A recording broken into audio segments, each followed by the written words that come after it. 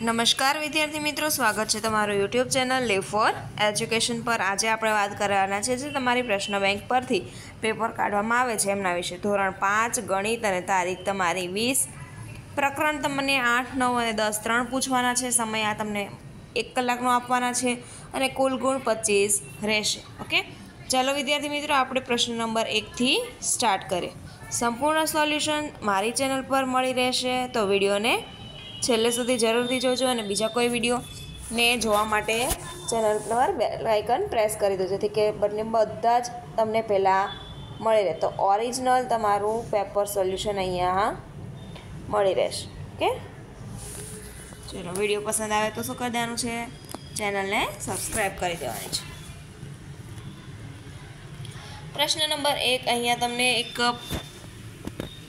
નકશો આપેલો છે, એના ઉપરથી પાંચ વાક્યો લખવાના છે. પહેલું છે, પંચાયત ઓફિસ જવા માટે ટાવરની કઈ દિશામાં જશો? પંચાયત ઓફિસે જવું હોય તો ટાવરથી કઈ સાઈડ જશો? તો કે, ટાવરથી તમારે પશ્ચિમ દિશામાં જવાનું છે. મંદિર બગીચાની કઈ દિશામાં આવેલું છે?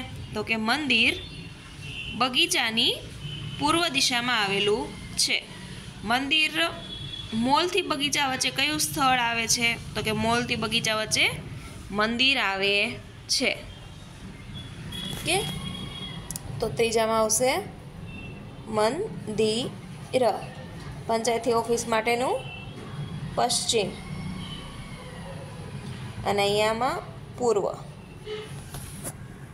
બગીચાની પૂર્વ દિશા તરફ શું આવેલું છે? તો કે બગીચાની પૂર્વ તરફ દિશા તરફ શાળા આવેલી છે.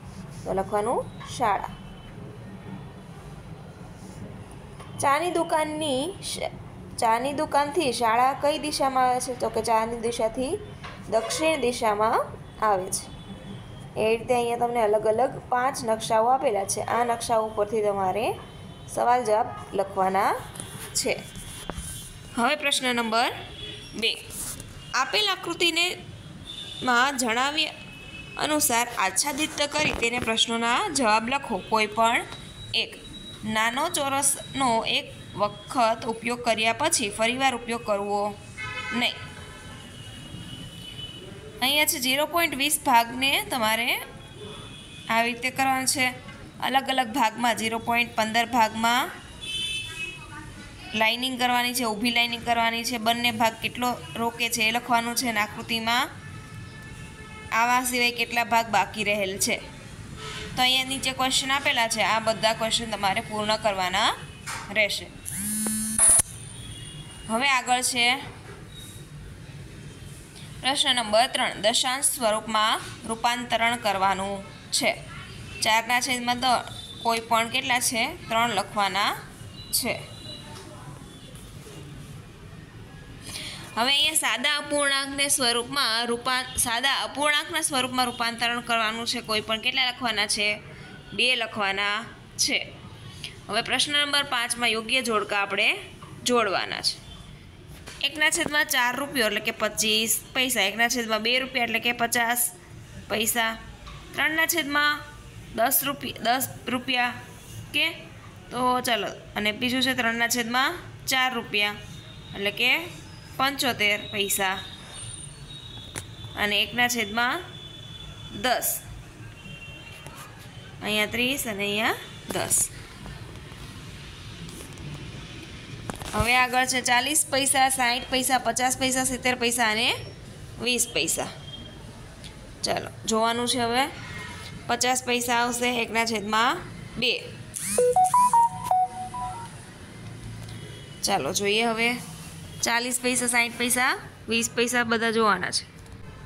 ચલો, આવી રીતે છે ને અહીંયા એક ભૂલ છે, જોવાની છે. ચારના છેદમાં દસ છે, એની જગ્યાએ છના છેદમાં દસ રૂપિયા છે, ઓકે? એવી રીતે અહીંયા બીજા આપેલા છે પાંચ. હવે પ્રશ્ન નંબર પાંચમાં નીચે કેટલીક વસ્તુઓનો સામે તેની એક નંગની કિંમત આપેલ છે, તેના આધારે કોઈ પણ એક વિભાગના પ્રશ્નો લખવાના છે, ઓકે? પાંચ રબરના કુલ કેટલા રૂપિયા થાય? તો રબરની કિંમત કેટલી છે? અઢી રૂપિયા છે.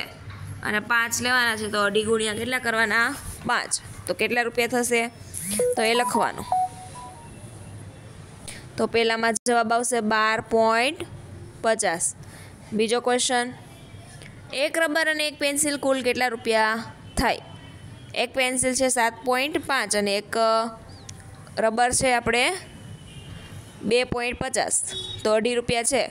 તો સાતને બે, આઠ, નવ અને દસ. તો દસ રૂપિયા થાય. બે નોટબુકના કુલ કેટલા રૂપિયા થાય? નોટબુક કેટલી છે? બાર પોઈન્ટ પચાસની. તો બાર પોઈન્ટ પચાસ પ્લસ બાર પોઈન્ટ પચાસ, તો પચીસ રૂપિયા થાય. ત્રીસ રૂપિયામાં કેટલી પેન્સિલ આવે? તો પેન્સિલ કેટલી રૂપિયાની છે? સાત પોઈન્ટ પાંચની છે અને ત્રીસ રૂપિયામાં આપણે વિભાજન કરવાનું છે. બે કંપાસ ખરીદવા કેટલા રૂપિયાની, રૂપિયા જોઈએ? તો સાડત્રીસ પોઈન્ટ પચાસ છે. તો બીજા સાડત્રીસ પોઈન્ટ પચાસ શું કરી દેવાનામાં પ્લસ પોઈન્ટ પચાસ. ઝીરો પાંચ છે તો અહીંયા શું આવશે?